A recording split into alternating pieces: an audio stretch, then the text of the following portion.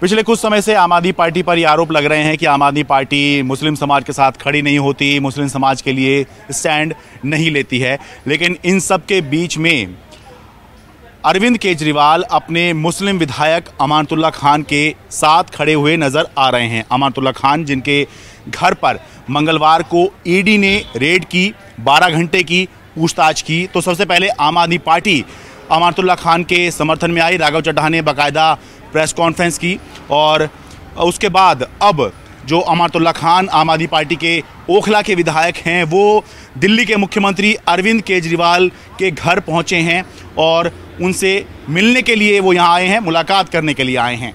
और अमानतुल्ला खान से मुलाकात के बाद अब अरविंद केजरीवाल अमानतुल्ला खान के साथ साझा प्रेस कॉन्फ्रेंस के लिए आ गए हैं। कल अमानतुल्ला खान के यहाँ ईडी की रेड हुई। ये कोई पहला मौका नहीं है जब प्रधानमंत्री जी ने आम आदमी पार्टी के नेताओं पर रेड कराई है। जब से हमारी सरकार बनी है दिल्ली के अंदर, प्रधानमंत्री मोदी जी की पूरी कोशिश है, पूरी पूरी कोशिश है कि किसी भी तरह से आम आदमी पार्टी को कुचल दिया जाए, ख़त्म कर दिया जाए।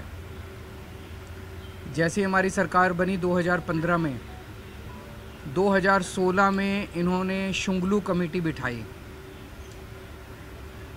शुंगलू कमेटी ने हमारी आ, दिल्ली सरकार के तब तक जितने काम किए थे 400 फ़ाइल मंगाई। 400 सौ साढ़े चार फाइलें मंगाई। सारी फाइलें बड़े बड़े अफसरों ने बैठ के जाँच करी और एक पैसे का नए पैसे का भी घोटाला नहीं निकला। उसके बाद मोदी जी ने हमारे एम के ऊपर झूठे झूठे केस करने चालू कर दिए। हमारे आम आदमी पार्टी के एम पे अभी तक 170 से ज़्यादा केस कर चुके हैं 170 से ज़्यादा। और उनमें 140 से ज़्यादा केसेस में जजमेंट आ चुके हैं, जिसमें सारे जजमेंट मोदी जी के खिलाफ हैं। सारे जजमेंट हमारे पक्ष में आए हैं कि झूठा केस किया गया हमारे एमएलए के खिलाफ, झूठी एफआईआर की गई, झूठी गिरफ्तारी की गई, गलत गिरफ्तारी की गई।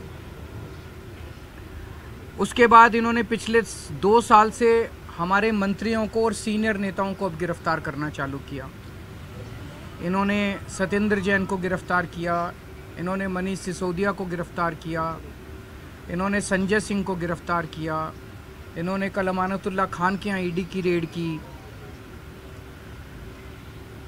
मामला चूँकि कोर्ट में है, मैं सब जुडिस है, मैं ज़्यादा नहीं बोलूँगा, लेकिन अगर आपने मनीष सिसोदिया के केस में पिछले हफ़्ते सुप्रीम कोर्ट में जो सुनवाई हुई, अगर आपने वो सुनवाई सुनी हो तो जिस तरह से जज बार बार बार बार उनसे एक ही सवाल पूछ रहे थे कि कोई तो सबूत दो, कोई तो सबूत दो, इन लोगों के पास एक भी सबूत नहीं था मनीष सिसोदिया के खिलाफ।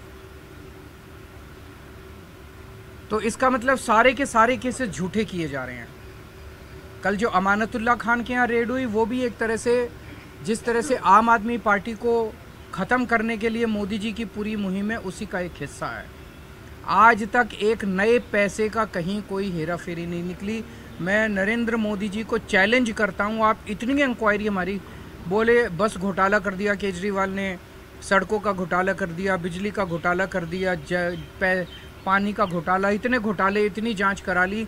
एक नए पैसे का मैं चैलेंज करता हूँ। एक नए पैसे का अगर आपको कहीं कुछ मिला हो, अगर मिला हो तो आपको लगता है मेरे को छोड़ देते मोदी जी।